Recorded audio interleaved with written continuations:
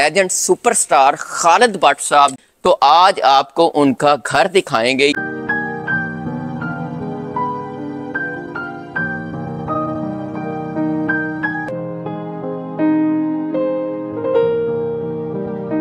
नाजरीन, ये गैराज है।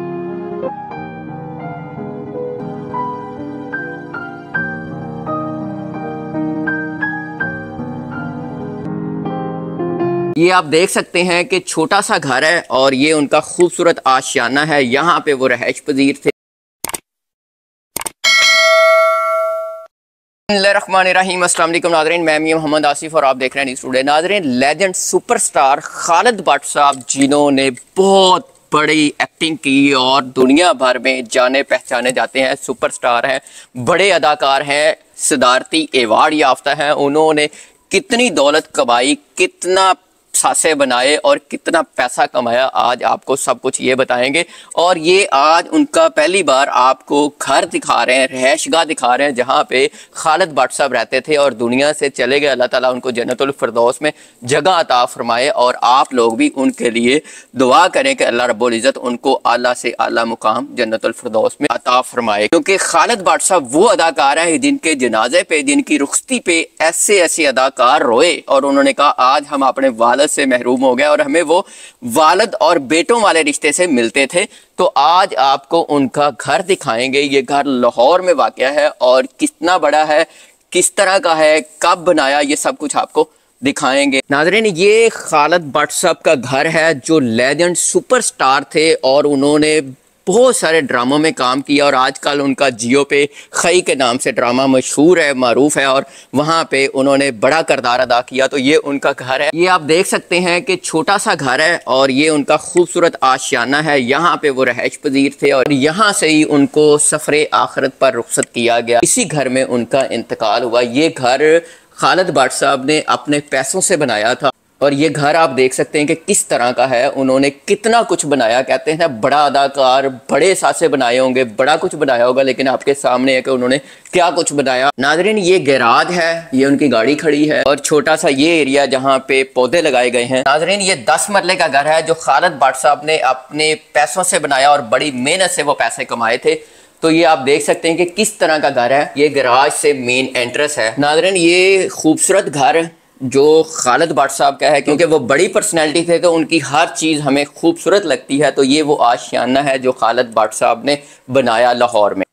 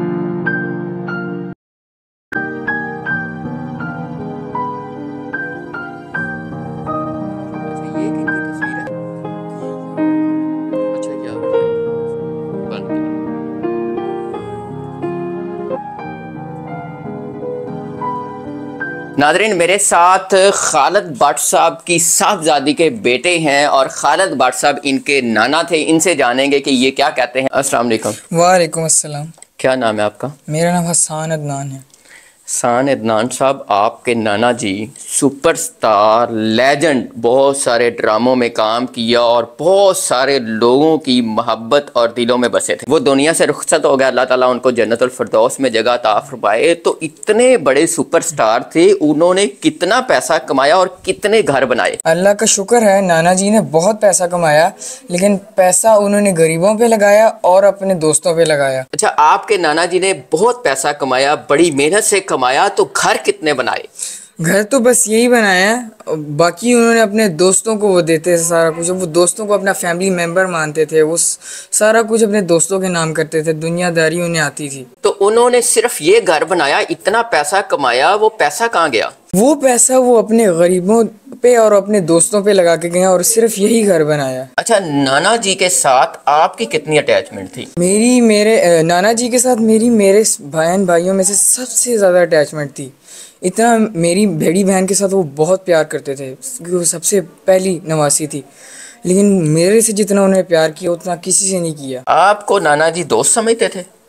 मुझे नाना जी दोस्त अपना बेटा अपना सब कुछ समझते थे। अच्छा आपको आपके नाना जी दोस्त समझते थे दोस्तों की तरह ट्रीट करते थे आप उनके बेटे भी आप उनकी साहबजादी के बेटे तो क्या बातें होती थी? उन्हें बहुत पसंद था जब कोई उनकी बात मानता था तो वो एक दफ़ा उन्होंने मुझे कहा था कि ये मेरी वार्ड्रोब सेट कर दो क्योंकि वो उठ नहीं सकते थे लास्ट एज में। तो मैं उठा सारी वार्ड्रोब सेट की। उन्होंने बाद में सो के उठे तो पूछा कि भाई, मेरी वार्ड्रोब आपको कहा था सेट कर दें? जब मैं वार्ड्रोब का दरवाज़ा खोला तो उन्होंने देख के इतना खुश हुए, इतना खुश हुए कि यार मैंने एक छोटी सी बात कही और उसने फटाफट कंप्लीट कर दी। वो बहुत खुश होते थे जब कोई उनकी बात मानता था। आप उनकी कौन कौन सी बातें मानते थे और वो आपको कौन कौन सी बातें कहते थे कि ये कर लो ये कर लो? उन्होंने ज़्यादा कुछ तो कहते ही नहीं थे लेकिन वो ये बड़ा चाहते थे कि जो मैं कहूँ वो मिनटों में सेकंड्स में पूरा हो।